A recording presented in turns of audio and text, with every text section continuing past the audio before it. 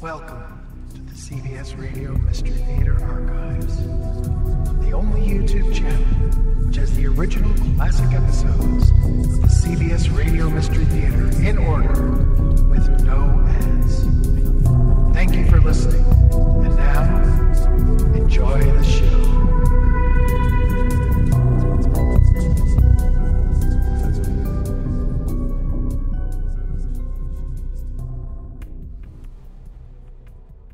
CBS Radio Mystery Theater presents.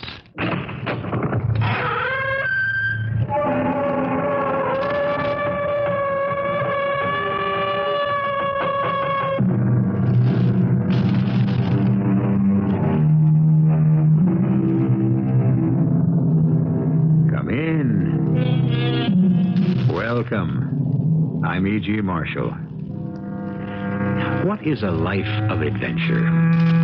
Some people seem to be forever caught up in a maelstrom of events, while others go along doing humdrum tasks. Of course, what one person calls exciting is to another just an everyday occurrence. And some people seem content with what Thoreau called lives of quiet desperation. But there is a difference. Certain individuals create their own excitement. Perhaps we never find adventure unless we go looking for it.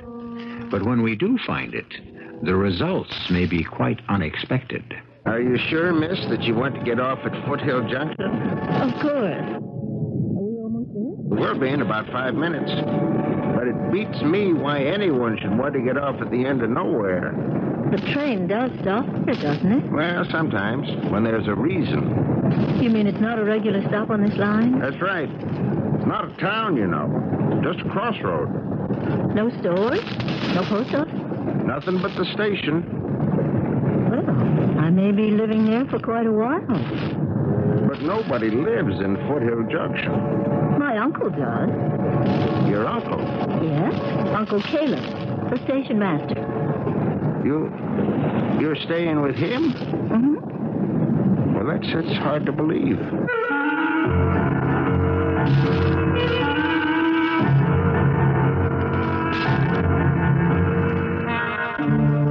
Mystery drama, Stairway to Oblivion, was written especially for the Mystery Theater by Elizabeth Pennell and stars Ann Shepard. It is sponsored in part by Buick Motor Division. I'll be back shortly with Act One.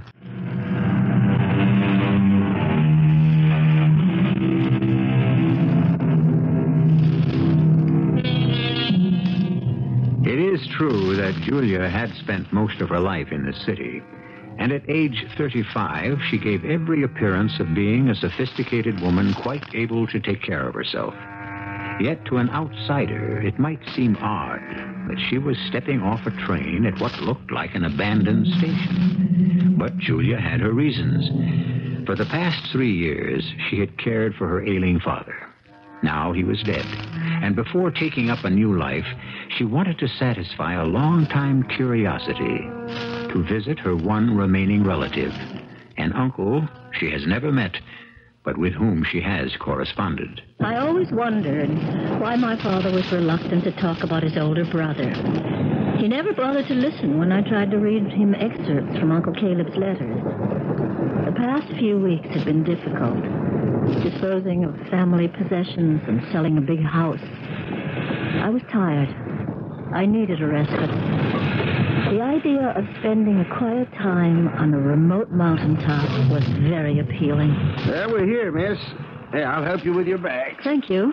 I don't see Caleb. Must be inside the station house. What is a dilapidated building? Yeah, should be torn down. All we need here is a switch box. Uh, you wait. I'll see if I can find the old man. Caleb? Caleb? Yeah, Why's the train stopping? You're two minutes late. Caleb, we have a very special passenger. What's that? A passenger? Yeah. Lady says she's your niece. Julia? But not today. It's next week she's coming. Next week. She's waiting for you right now here on the platform. Oh, dear me. Julia? Julia, my dear, forgive me, but I thought it was next week you were coming. Hello, Uncle Caleb. Well, you said in your letter. Are you that I- sure you'll be all right, miss? Of course she's all right. Now, give me those bags and get going. Train's five minutes late. Oh, Uncle Caleb, it's good to meet you at last. I'm sorry if there's some mistake about the date of my Oh, arrival. it's all my fault. Months and days have a way of all blending together up where I live. Afraid I've brought quite a bit of luggage. My clothes and some books for you are in that big one.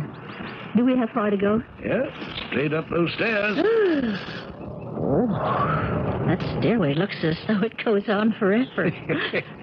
Just about. I told you I'd live down top of the world. This bag of yours is mighty heavy. Well, wait, per- perhaps if we carried it together. Well, uh, I'm afraid we can't manage everything at once. I'll, I'll just lock the big bag up in the station house. But, Uncle Caleb, all my clothes are in there. Now, don't worry about that. We'll get them tomorrow. You take the little bag and start up the stairs very slowly. I'll catch up with you. 68, 9, 70. and plenty more to go. You climb these stairs every day? Well, you get used to them. Uh, here's the one resting place. I see a path leading off there. Where's that go? Uh, just off in the woods. Now, take a look at the view. Oh, it's breathtaking. Or maybe it's just the climb that's taking my breath away. Yeah, we'll be there in a moment now. Just keep going. You see? That's my house. It sort of comes at you all of a sudden. Oh, careful. Oh, Should have warned you about that stone. ah, looks like a marker. Yeah, that it is. Read what it says. O B L. Oblivion. Yeah, that's the name of my hideaway. Very appropriate, don't you think? Uh, I guess so. It's rather frightening.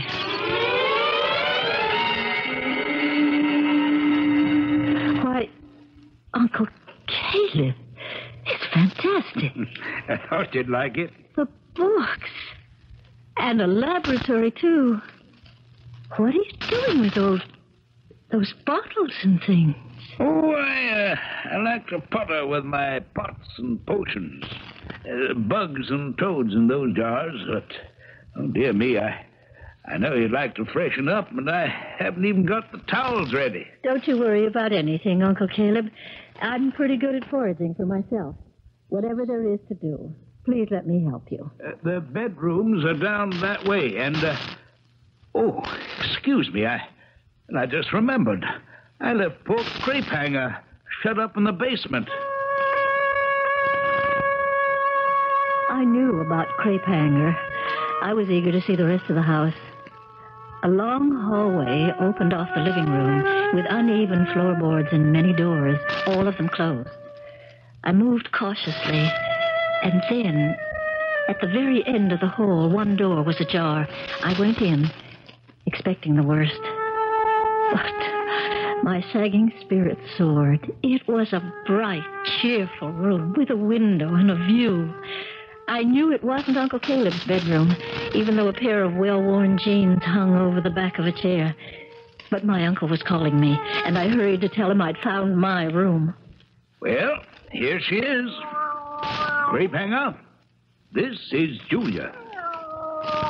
What a beautiful, beautiful cat. You see, she, she knows you're a member of the family. And now, my dear, I must show you to your room. Oh, I've already found it. You found Julia's room? The one at the very end. The door was open and I went in. Uh, no, my dear, that, uh, that room is not for you.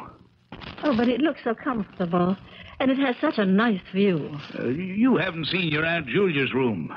That's the only place for the woman of the house. Well, Aunt Julia never lived in this house. Oh, no, my dear. Your Aunt Julia's been dead for 20 years.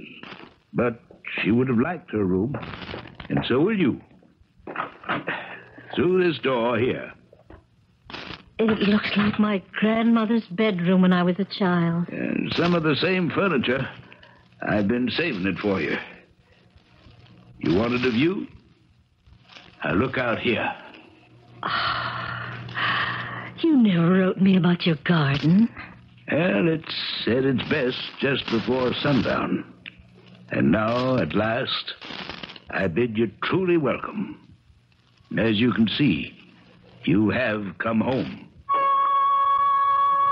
I didn't know whether to laugh or cry. The dresser reminded me of my mother's. And feeling like a child, I stealthily opened the top drawer and. Oh, Uncle Caleb! What's the matter? Julia, what is it?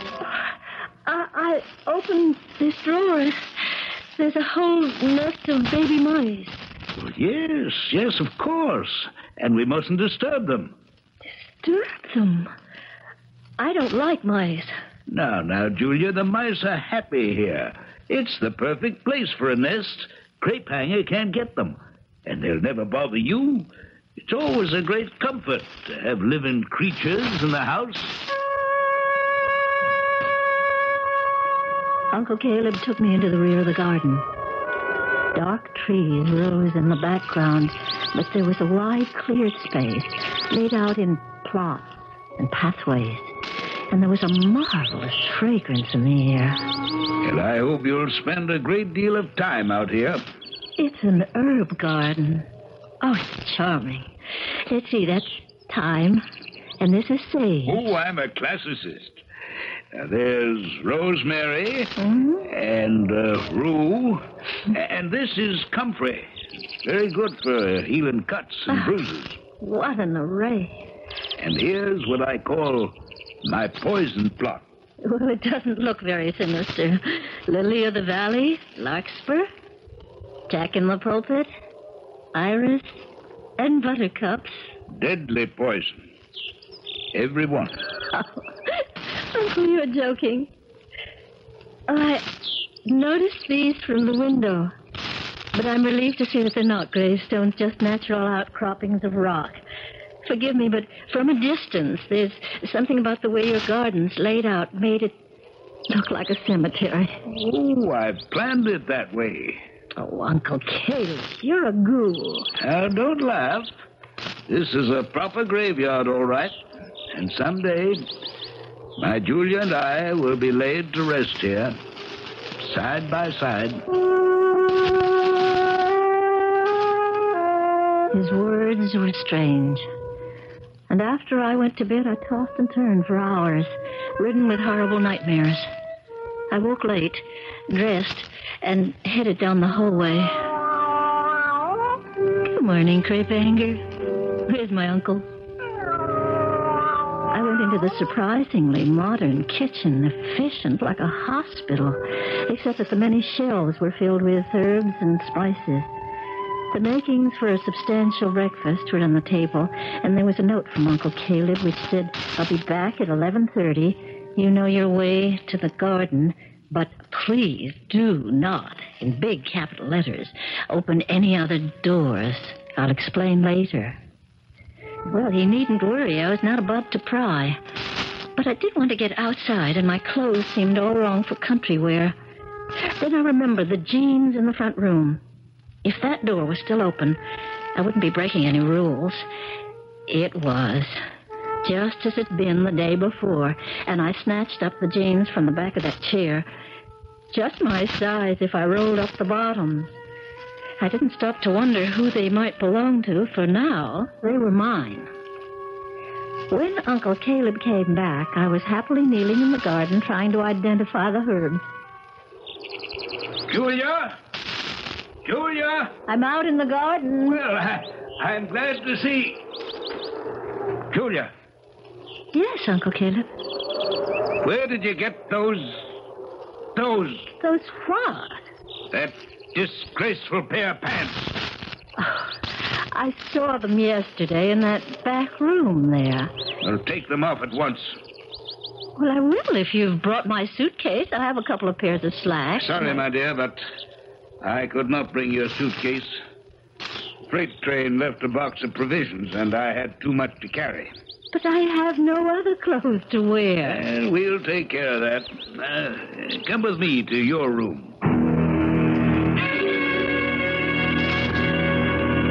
Over there, in the trunk, Julia. Open it. But these are Aunt Julia's clothes. I can't wear anything like this. And look down further. You'll find something. Oh, what an elegant cashmere sweater. And these skirts, just the kind they're wearing today. Yes, there were plenty of things in that trunk I could wear. Even a denim wraparound for gardening. Then, the very bottom, I came upon a long sequined evening gown, and pinned to it was a note which read, This is the dress I want to be buried in. What has our Julia gotten herself into? Even her clothes are no longer her own. The aura around Caleb and his house grows ever more ominous, as you will discover when I return shortly with Act Two.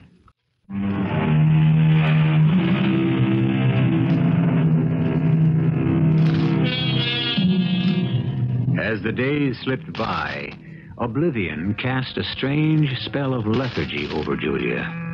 For a time, she offered to help her uncle carry her suitcase up the stairs, and then forgot all about it. She even lost all curiosity about what was behind those closed doors. Caleb, too, seemed far more relaxed. They spent many happy hours together in the garden, and Julia became engrossed in the study of herbs. She had grown fond of her Uncle Caleb. But this false sense of peace was abruptly shattered early one afternoon when Julia was alone in the garden. Hello? Hello in there. Oh, John, of course he's not here. It's Wednesday. Oh, that's right. Let's go around back and see what the old buzz has been up to in his garden. John, look. Somebody's there. It's a woman. Now, don't frighten her. Uh, excuse me, miss. Oh, I'm sorry. We, we came by to say hello to Caleb.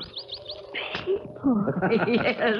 We're people, but you're looking at us as though we were ghosts. But, uh, wh- how? Oh, well, we're just the summer folks from down the hill. Uncle Caleb never mentioned Caleb, he's your uncle? Well, he, he never mentioned you either. I'm here on a visit, but I thought this was the only house around for miles and miles. It is, except for our cabin. I haven't seen any cabins. Halfway down the stairs.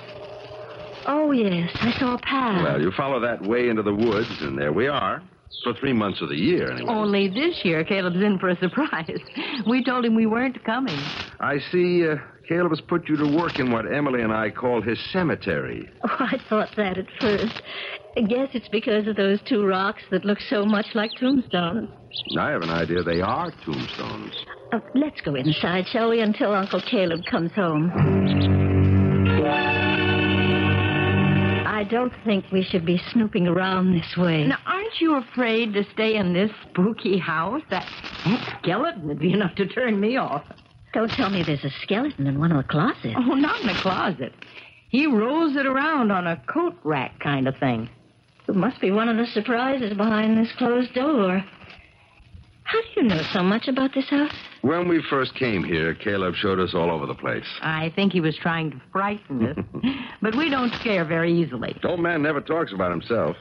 But he's a good neighbor. Except when he has visitors. Then he doesn't want anyone else around. Why? I don't understand. Well, neither do we. I've been meaning to ask Caleb if I could paint that marvelous view from his guest room. But of course, now you're staying there. Oh, I'm not in that room. Oh, where are you staying? Up the hall on the other side, looking into the garden. Oh, well, then maybe Caleb will let me paint in the guest room this year. I'm sure he will. But you keep calling it the guest room. My uncle never wrote about any visitors. Were there many? Since we've been coming up, there were just that older man. And the boy. When was this? Oh, the man was here about four or five years ago. Isn't that right, Emily? I'd say so. And then he was gone, and we saw the boy two years ago. Nobody here last summer. Wonder who they were. I thought maybe the boy was your brother or, or nephew. He called him Uncle Caleb, too. But that's very puzzling. Hmm.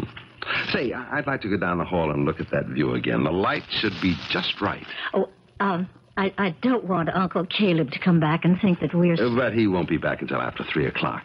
And we can hear the train when it goes by. This must be Wednesday. so you've forgotten what day it is, too. They just all blend together. you know, Uncle Caleb has a built-in time clock, even though he doesn't remember dates. He's down at that station every morning when the freight train comes through, and then one day a week he waits for the passenger train. Come along, then. Let's take a look at that view. Look at those peaks. Hmm. I know just the purple I'm going to use. Yeah, I'd forgotten how great it is. Hmm. This room, a man and a boy. I found a pair of jeans in here. Well, now, you may be forbidden to open closed doors, but I'm the nosy type. Can't resist closets. Let's see what's in here. Well, look. It's filled with clothes. Men's work suits. And this old, old jacket. But it's not Uncle Caleb's size. And no one but a teenager could wear these. Well, I'll be damned. There goes the train. Yeah. Uncle Caleb will be back soon. Well, it'll take him a while to climb the stairs. Now, how do you feel about opening dresser drawers? Oh, no, no. I'm afraid to after what I found in the drawer in my room. Okay, it's my turn. Here goes. Men's work gloves, socks. Here's a jackknife. Wait a minute. Here's something interesting. The wallet. And it's empty. Except for this sort of ID card. Let's see. Name James J. Flanders. Address has been crossed out. Date of birth is almost illegible. Looks like 1900. Why, that has to be old Jim.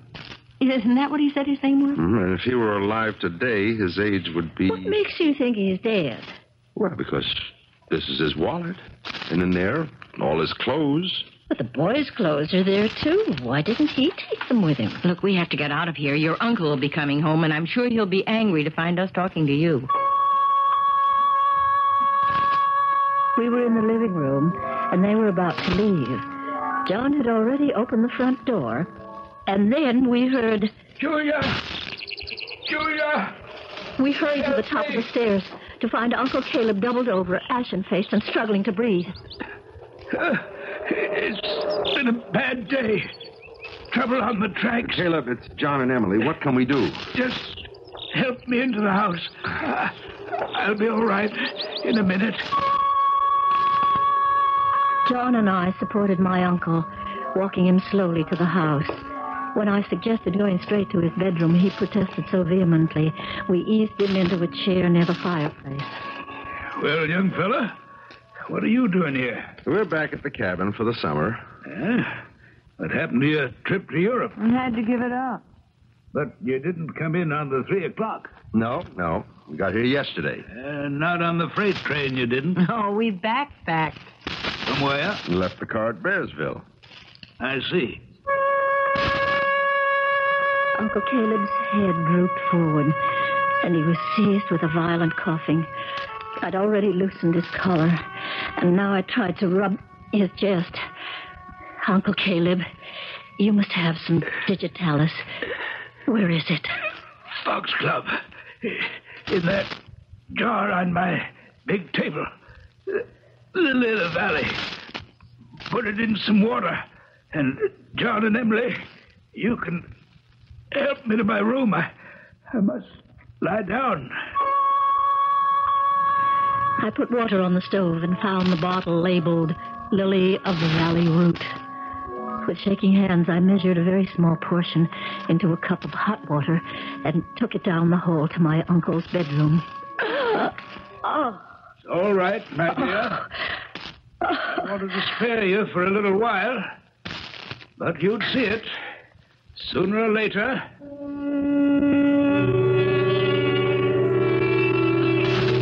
I couldn't believe I was seeing it then. The walls and floor were black, and so was the big bed with a prow like a Viking ship. My uncle looked like a ghost propped up against those white pillows. And thank heaven, John had warned me. Because there, on one side of the bed, was that coat rack thing from which dangled a full size skeleton. Don't be frightened, my dear.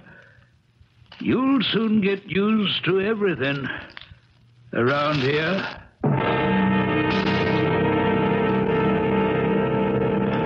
Uncle Caleb needs a doctor. How do I get one? No way, not up here. But there's a telephone down at the station. Yes, but no passenger train until next week. You have to tell the train company that Uncle Caleb won't be able to. Oh, you'd be surprised. He's a sturdy old man, and he's had these attacks before. I'll flag down the freight train tomorrow. But Julia shouldn't be left alone with him. I I think we should stay here. You're darn right we're going to stay. But I'm not helpless, really, I'm not. I've taken care of my father for the last three years. Frankly, I'm worried, Julia. Now, what if your uncle is. Is only pretending to be sick? How can you say that? You saw for yourself. I've seen other things, too. Like what's down in the basement. Look, you've both said that. What is down in the basement? There are two carved gravestones, That doesn't surprise me. but one has the name Caleb, and the other name is Julia. Doesn't that tell you something? Yes. Uncle Caleb told me that one day he would rest peacefully in the garden behind this house next to his Julia. But, but that's you. Oh. Now I see what's troubling you. He meant his wife, my Aunt Julia. I'm beginning to think her remains may already be in the garden. I wonder. Julia! Where's my Julia? I hurried to Uncle Caleb's room. Feeling better? Yes. Yes, my dear. Uh, Do you remember that time when you were feeling so very ill and I asked what you'd like for supper?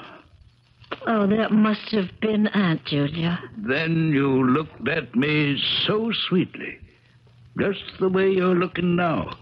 And I said, I'd do anything in the world for you, Julia. Anything to help you. And I'm sure you did. Always tried to.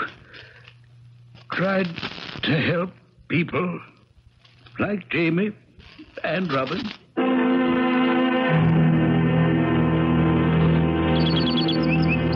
Oh, John. John, let's, let's go back in the house. All right. Oh. I'll leave the shovel here. But that's all the proof I need. It's horrible. But what are we going to tell Julia? John, all that dirt. Where'd you been? Sit, uh, sit down, Julia. There's, uh, there's something we've got to talk about. No, don't tell her, John. Honey, you have to get away from this evil place. Oh, stop it, both of you. My uncle may be eccentric, but he's a kind, gentle old man. Yeah, I used to believe that, but no more. We're letting our imaginations run away with us. But, Julia, I have the proof. Proof of what? I remembered that four years ago there was only one stone in the backyard. Then last year the smaller one had been added. Go on. So I took a shovel and went out just now. Oh, you had And now- no now, I didn't dig down very far. Just far enough to establish that two wooden coffins are buried out there. One of them is about six feet long, big enough for a man, and the other is smaller. Just about the right size to hold a boy.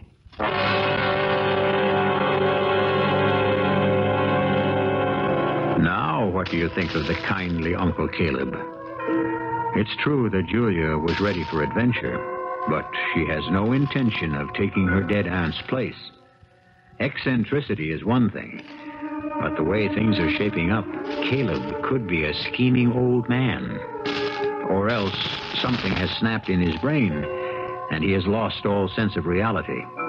In either case, Julia appears to be in a dangerous predicament. I'll be back shortly with Act Three.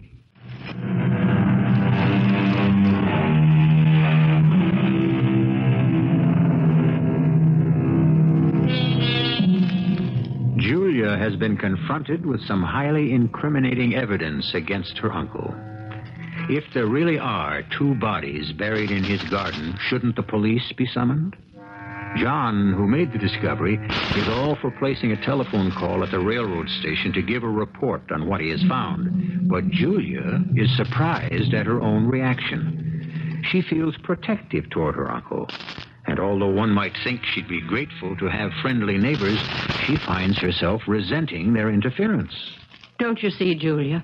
It's our duty to turn your uncle in. You don't know what you're talking about. After what I've uncovered, You have found nothing. you call two coffins nothing? None of us knows what's in those coffins. Well, I can certainly find out in a hurry. I forbid you to destroy my Uncle Caleb's garden. Julia, you're beginning to sound as as batty as. Oh, I'm sorry. I realize you've been through a lot, and you're not thinking straight. I know my uncle better than you do. I'm thinking that the smaller coffin may contain the remains of my Aunt Julia. And the other one? It's just like Uncle Caleb to be saving that one for himself. Well, there's another way to find out. You're right. Let's just ask Uncle Caleb. But if he's really sick, I mean, when he gets stronger. In the meantime, I suggest we have some supper and then you can go home. There's really no reason for you to spend the night. we're staying.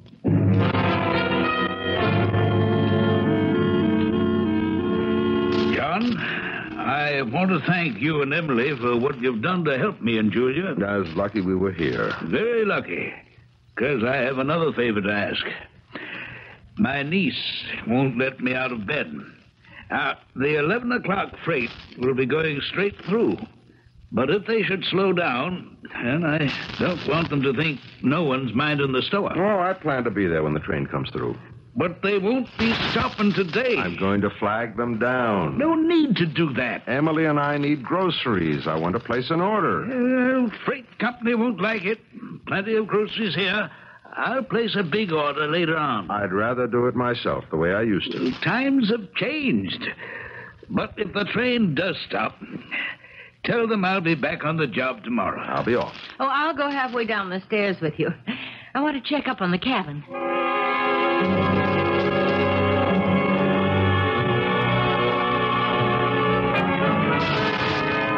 It's good to have you here to look after us, gal. I like being called that, Uncle Caleb. Why, uh, what did I call you? A girl. Well, of course. And that's what you'll always be. It's why I, I don't like to burden you with my problems. If there's anything you want to tell me, Uncle Caleb, you know I'll always listen. But it's just that if anything should happen to me, I want you to make certain that my Julia and I lie side by side, just as we always do. You mean in the garden? Yes. Yes, I've left instructions in my will, but I'll feel so much better knowing a member of the family will take care of things personally. Well, of course, Uncle Caleb. You can count on me. But you know, you hadn't told me that Aunt Julia is already buried in the garden. Oh, she isn't, Julia. Not by herself. We'll go together. But where is she? She's there, in that handsome urn, on my bedside table.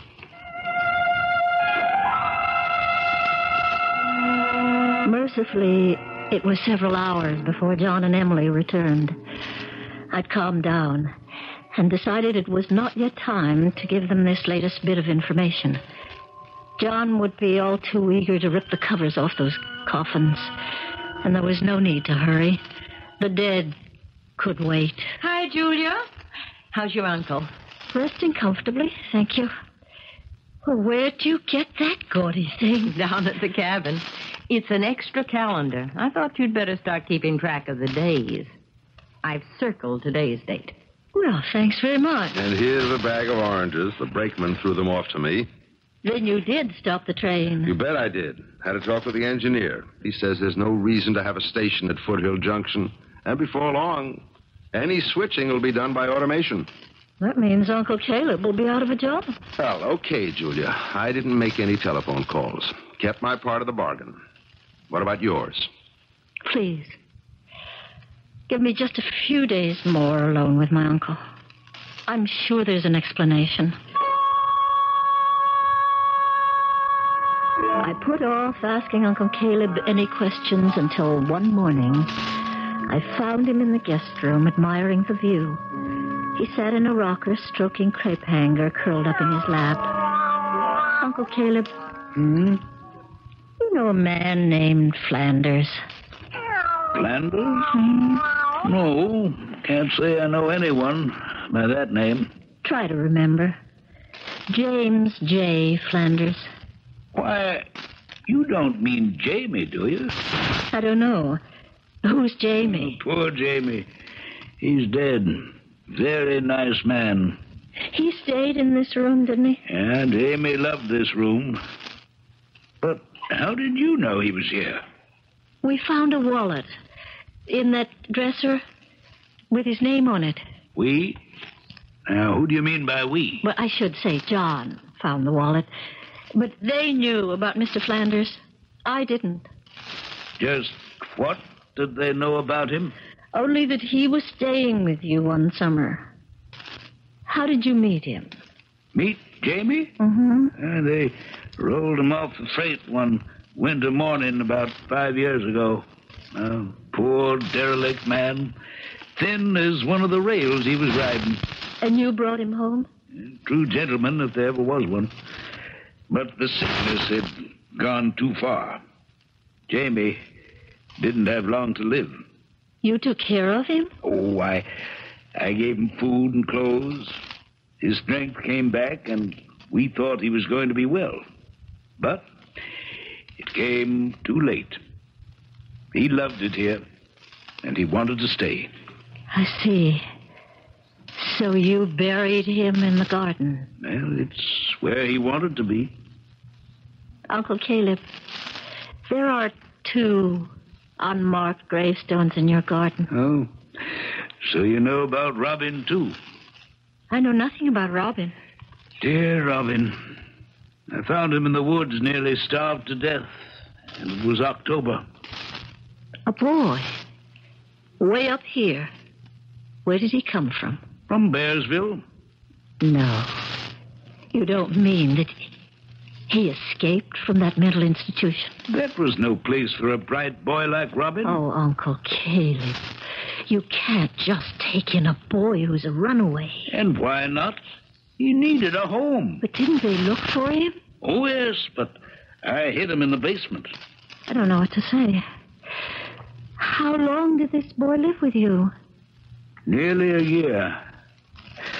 I tried so hard to help him, but, well, he must have been sickly from the time he was born. It was too late to save a small soul who'd been abandoned when he was a baby. Uncle Caleb, when you say you helped him, do you mean that I you... mean, I gave him love and the only home he'd ever known.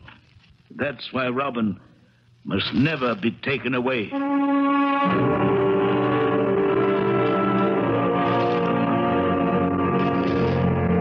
I realized if it were not for John and Emily, I too might sink completely under the spell of this place called Oblivion.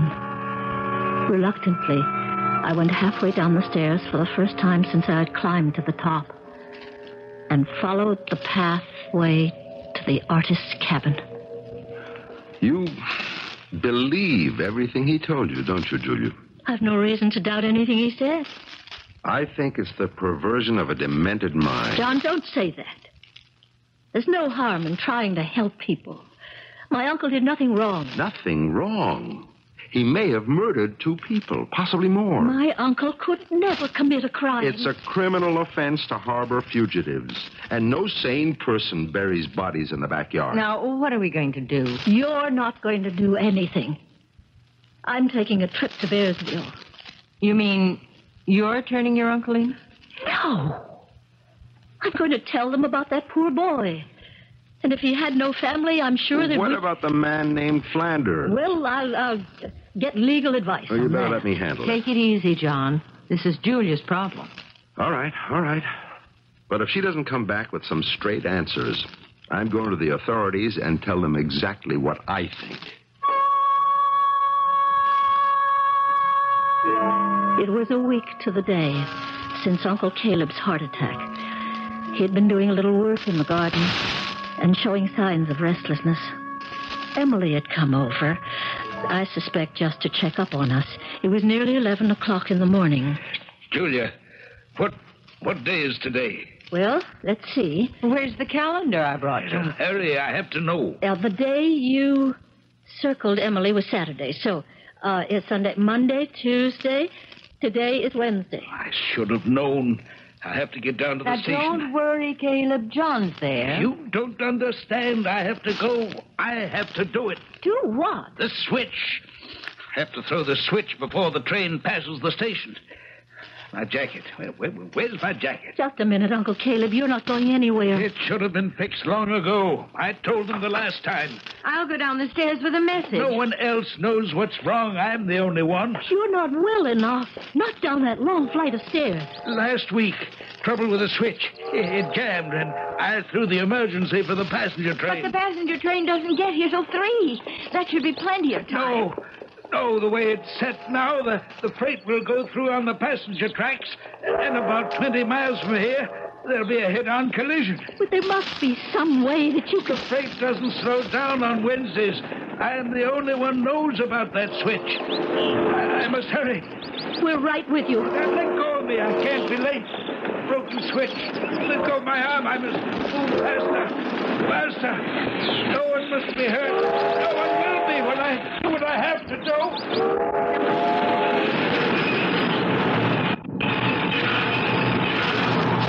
He made it. Caleb, stop the train.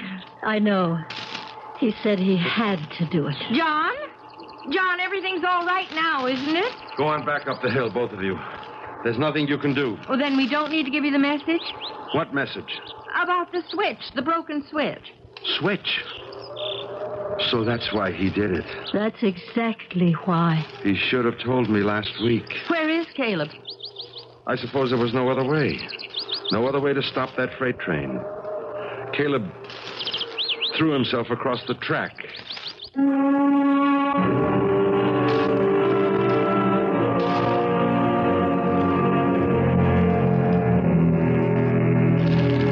Uncle Caleb's death, like his wife's, was dedicated to helping people. Perhaps on the evidence you believe that, or if you have a different kind of imagination, you may believe there was a darker side to his nature. That's up to you. As for Julia, I'll tell you about her in just a moment.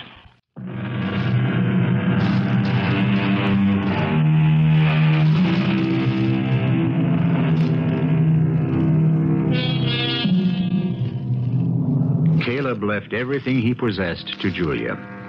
And she, too, had fallen in love with that mountaintop. Oh, uh, she reported the deaths of Jamie and Robin, but uh, since no one claimed them, they rested in peace beside Caleb and Aunt Julia in the garden where they all wanted to be in oblivion. Our cast included Ann Shepard, Guy Sorel, Mary Jane Higby, and Nat Polen. The entire production was under the direction of Himan Brown. And now, a preview of our next tale. Killed Cyrus Darrow, but I didn't. He's dead, son. Big hole in his forehead caused by the forcible entry of a pistol ball. There, there must be some mistake. No, sir. There's no mistake.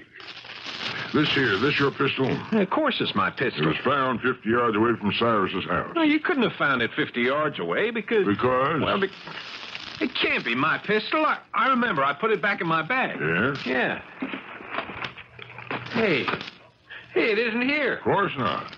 How could it be in that bag and in my hand at one and the same time? I, I never... I didn't... Mr. Jones, as sheriff of Springfield County, I hereby arrest you for the murder of Cyrus Darrow. What? And may the Lord have mercy on your soul. What are you saying? Well, that's right. That's right. I shouldn't say that just yet. After all, you ain't been tried.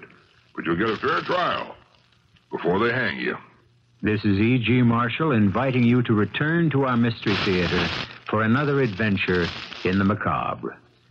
Until next time, pleasant dreams.